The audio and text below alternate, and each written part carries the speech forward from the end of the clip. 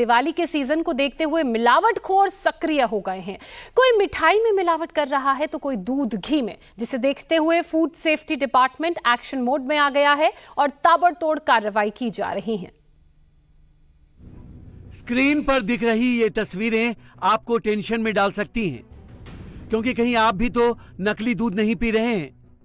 कहीं आपके घर भी लाई गई मिठाई में मिलावट तो नहीं है। ज़मीन पर बहाया जा रहा ये सिंथेटिक दूध है, जो पीने के लायक नहीं है, लेकिन फिर भी मार्केट में धड़ल्ले से बिक रहा है। रोज़ाना पाँच हज़ार से सात हज़ार लीटर के करीब ये दूध हज़ारों घरों में पहुँच रहा है, और अनजाने में लोग इसे पी भी रहे हैं।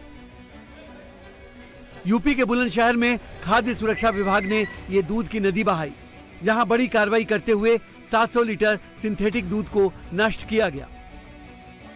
खाद्य सुरक्षा विभाग के मुताबिक यहाँ चिलिंग सेंटर के नाम पर सिंथेटिक दूध का काला कारोबार चल रहा था और गाजियाबाद से लेकर नोएडा तक ये नकली दूध बिक रहा था। व्यक्ति चिलिंग सेंटर चला रहा था, राजेंद्र सिंह गौरव। और ये व्यक्ति उस चिलिंग सेंटर के आड़ में कुछ नकली दूध का काम भी कर रहा था।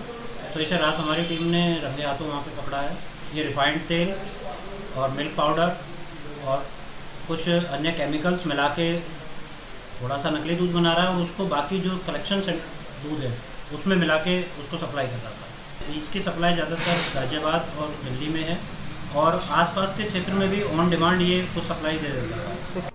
खुशहालपुर गाँव में सिंथेटिक दूध का धंधा राजेंद्र सिंह नाम का व्यक्ति करता है जिसका कहना है कि वो ये दूध गांव-गांव से खरीद कर लाता है और बेचता है। दूध यहाँ पे बनाया नहीं जाता खरीदे जाता गांव-गांव से दूध आता। हर गाँव में सिस्टम लगाए हुए हैं। उनसे कलेक्ट करके हमारी गाड़ियाँ लेकर आती हैं, यहाँ इकट्ठा होता, ठंडा करके आगे भेज दिया जाता। बस यही काम होता है यहाँ पे। जो पाउडर है, वो S M P milk powder है, वो सैंपल के लिए भेज दिया, दूध का सैंपल भेज दिया यहाँ से। उन्हें खाली संशय हुआ था कि भाई मिलावट है, उन्होंने सैंपल उठा लिए, जाँच के लिए वो आगे भेज दिए गए हैं। सेंटर से नमूने जाँच के लिए लेबोरेटरी भेजे गए। और जाँच रिपोर्ट आने के बाद बड़ी कार्रवाई की जाएगी। वहीं मुरैना में खाद्य विभाग ने मिल्क केक फैक्ट्री पर छापा मारा और मौके से 40 क्विंटल मिल्क केक और बर्फ़ी जब्त की, जिसकी कीमत करीब आठ लाख रुपए है। सिविल लाइन थाना क्षेत्र में चल रही इस फैक्ट्री से विभाग ने मिल्क केक और बर्फ़ी के नमूने लिए और फैक्ट्री में रखे रिफाइंड तेल, पाउडर, केमिकल के सैंपल जाँच के लिए भेज दिए गए। सोनीपत में भी फ़ूड सेफ्टी विभाग के कर्मचारियों की ताबड़तोड़ छापेमारी से मिलावटखोरों में हड़कंप का माहौल है।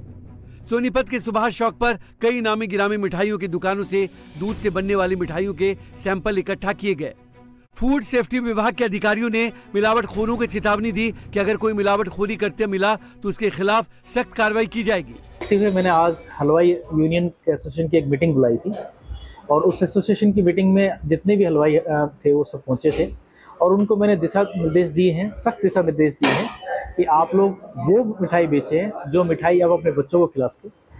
उन्होंने मुझे आश्वस्त किया है कि जी हम जो हमारी जितनी प्रतिष्ठित दुकान है अपनी प्रतिष्ठा को ध्यान में रखते हुए हम मिलावट नहीं करेंगे और अगर आप कर, हम करते हुए पकड़े जाएँ तो हमारे खिलाफ कोई भी कानूनी कार्रवाई कर सकते हो। जगह जगह फ़ूड सेफ्टी विभाग ताबड़तोड़ छापेमारी कर रहा है। मैसेज क्लियर है कि किसी भी मिलावटखोर को बख्शा नहीं जाएगा।